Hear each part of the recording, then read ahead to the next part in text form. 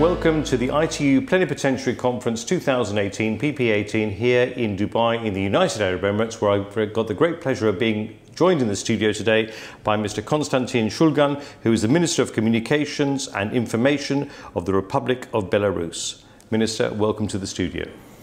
Спасибо.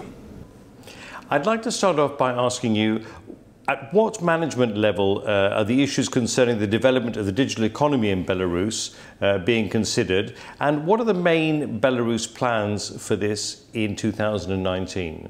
Э, Безусловно, информатизация и цифровая трансформация экономики занимают самое важное место в развитии, я думаю, любой страны, в том числе и Беларуси. Уровень принятия решения очень высок. Это декрет президента Республики Беларусь, который принял его для развития цифровой экономики, который включает ряд прогрессивных мер, направленных на то, чтобы создать в Республике Беларусь самые э, необходимые, самые важные и прогрессивные условия для того, чтобы это все развивалось и развивалось эффективно. Поэтому, говоря о, об уровне принятия решения, это самый высокий уровень. And in terms of the main goals and objectives of Belarus and the development of the digital economy, what are the main uh, government authorities and organizations responsible for the development of the digital economy in Belarus doing?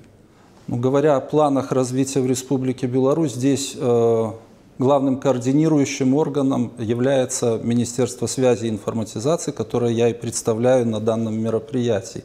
Но это не значит, что только одно министерство в Республике Беларусь вовлечено в процесс цифровой трансформации.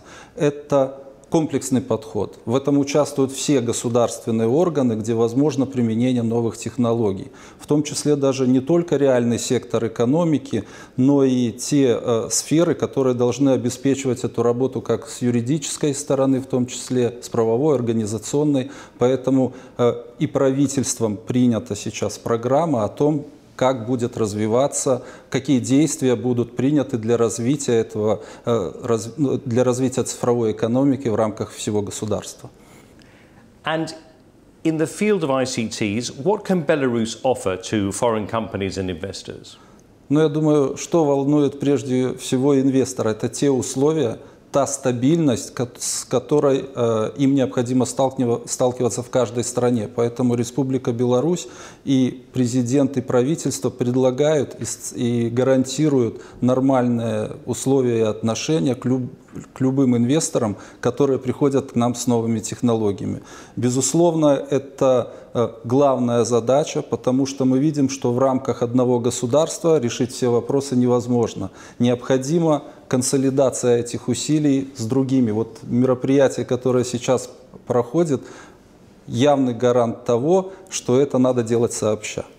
Finally, Minister, I'd like to ask you, what's your message here for participants at uh, the Bliss Plenipotentiary Conference and for our wider audience as well? Безусловно, главное пожелание и призыв к участникам конференции – это, как я уже и ранее сказал, давайте объединяться, давайте объединяться в рамках единых проектов, которые сейчас и время, и э, жизнь заставляют нас проводить сообща. Цифровизация, информатизация, по-разному это можно называть, она проходит в рамках всего мира. И мы э, в этом убеждаемся в тех докладах, которые звучат на этой конференции. Я хотел э, еще раз подтвердить, что Беларусь стоит на этом пути твердо, она уверенными шагами идет вместе со всеми мировыми державами для того, чтобы цифровизация принесла наибольшую эффективность всем людям, всем народам.